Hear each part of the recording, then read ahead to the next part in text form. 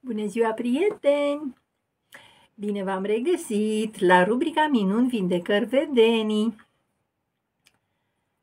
Astăzi, 29 septembrie, vom uh, citi o scurtă viață salvată, șoimul și Sfântul Mucenic Trifon. În Rusia, Sfântul Trifon este considerat patron al păsărilor – deoarece, după cum se povestește odată, țarul Ivan cel groaznic a ieșit la vânătoare, iar îngrijitorul șoimului său a scăpat din neatenție pasărea preferată a țarului. Țarul i-a pus în vedere acestui îngrijitor pe nume Trifon, Patricheev, să găsească șoimul în trei zile, altfel va fi condamnat la moarte. Bietul Trifon a căutat pasărea prin toată pădurea, dar fără niciun rezultat. În cea de-a treia zi, sfârșit de oboseală după atâta căutare, îngrijitorul s-a întors la Moscova, în crângul Marinaia.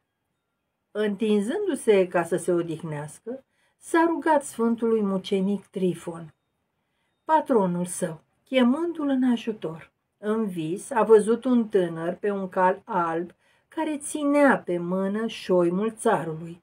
Acesta i-a spus, ia-ți pasărea pierdută și două țarului și nu te mai necăji.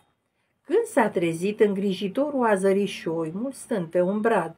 A luat pasărea, a dus-o țarului și i-a spus ce ajutor miraculos a primit de la Sfântul Mucenic Trifon. Drept mulțumire că i-a salvat viața, Trifon Patrichiev a construit o capelă în locul în care i-a apărut Sfântul. Mai târziu a construit chiar și o biserică cu hramul Sfântului Trifon. Doamne Iisuse Hristoase, Fiul lui Dumnezeu, pentru rugăciunile preacuratei Maicii tale și ale tuturor sfinților tăi, miluiește-ne și ne mântuiește pe noi. Amin, amin, amin. Doamne ajută, prieteni, să ne revedem cu bine și la alte filmări!